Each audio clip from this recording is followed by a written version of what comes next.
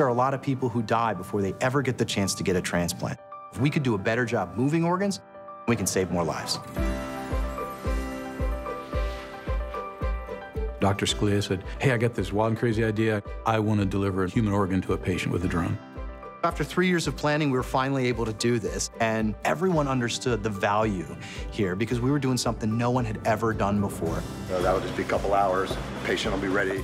It's one thing to do an engineering task and be successful at that task, but it's another when that task actually affects somebody's life, and in this case, saves their life. We're ready to receive the organ.